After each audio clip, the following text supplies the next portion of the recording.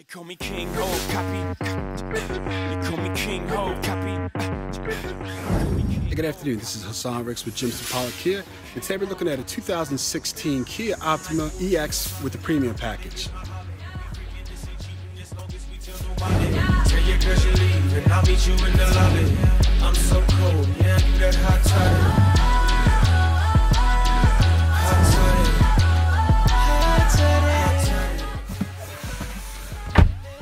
So we're going to take a quick look at the interior of this 2016 Kia Optima. It is the EX with the premium package, so there's a lot of nice benefits and features in this car that I think both driver and passenger will like. Very, very comfortable. It does have the leather trim seats, power seats for the passenger and driver, along with some other features. We're going to go over that, but we're going to start left to right. We're going to start over here with your power windows, your power locks, you have power mirrors. You also have folding power mirrors as well. As you can see. If you come over here, you have memory seating for two. Come over here, you have your interior dimmer. Now this is going to be your blind spot detection warning system right here. What I'm going to do is activate that. Just take a look in the mirror here. As you see when I press it, you see how it lights up. That's going to in- indicate whether there's traffic coming from your left or your right. It's in both mirrors there. Great safety feature. You're going to come back down here. You have your uh, fuel release, your trunk release. This is for your traction control here. We're going to come to the steering wheel. Now over here you have your voice recognition. This is going to be for your multimedia. This is going to help you toggle through your AM, FM, your satellite radio. If you're streaming music, you also have your volume control here. Press it in, you have your mute button. This is going to toggle through your stations, your presets, or your tracks, depending on um, if you're streaming music. Here's your uh, hands-free Bluetooth connectivity here for hands-free talking. We'll come over to the right side of the steering wheel. Now this is going to give you vehicle information right here towards the center here. As you see as I press the button, it's going through the different options there. You also have your cruise control right on the steering wheel. You can set it. We're going to come here to the middle here, but this is your uh, multimedia center, the infotainment center as I like to call it. Um, once again, here, this is a touchscreen as well. See as I press it, it's going through the different options.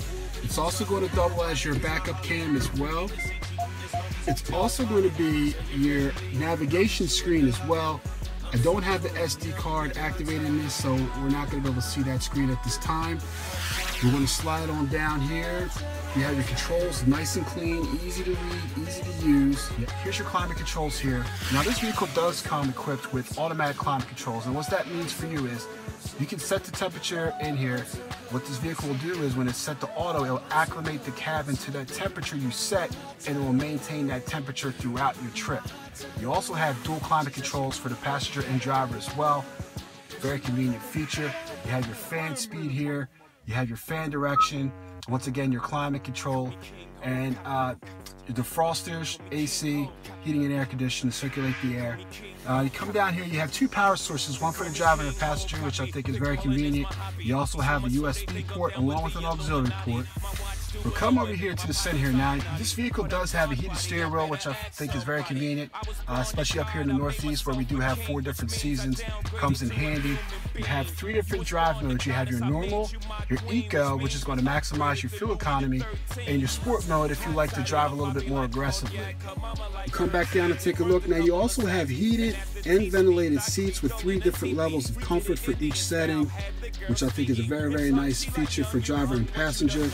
And this vehicle does come with a smart key along with remote start as well, which I think is a great, great uh, feature to have.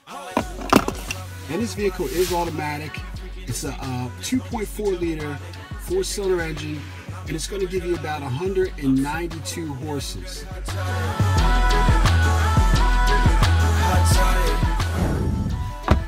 So now we're sitting in the back seat of this 2016 Optima EX. Now, once again, it does have the premium package.